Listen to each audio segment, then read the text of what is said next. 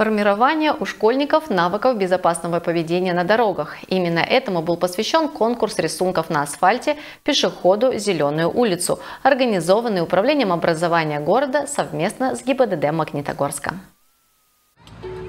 Участие в конкурсе приняли воспитанники коррекционных школ.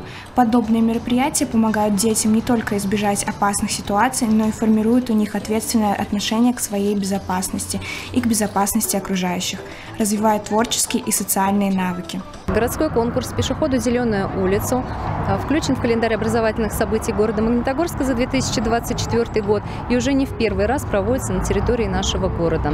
Возрастная категория данного конкурса – это начальная школа специальных коррекционных образовательных организаций.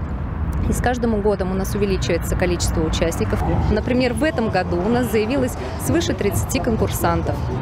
Перед конкурсом ребята прошли активную подготовку, заново повторили правила дорожного движения, сделали эскизы будущих рисунков. Дети не только изобразили на асфальте дорожные знаки и пешеходов, но и рассказали, какую идею несет их рисунок. Перед тем, как, получается, принять участие в этом замечательном конкурсе, мы готовили эскизы, изучали заново ПДД, но повторяли, что значит любые знаки, как они могут помочь нам в любых ситуациях.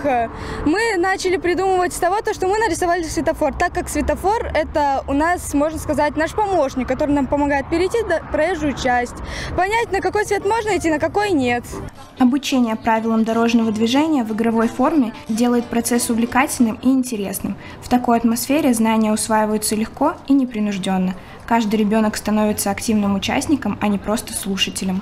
От себя лично и от лица общественного совета хочу сказать о том, что мы считаем, что данные конкурсы очень важны, потому что дети в игровой форме вспоминают все правила дорожного движения, лучше их запоминают, также хочу обратиться к жителям нашего города с напоминанием о том, что в первую очередь примером для своих детей служим мы.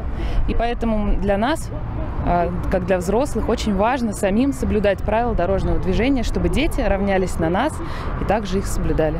По итогам мероприятия все участники были награждены грамотами и подарками.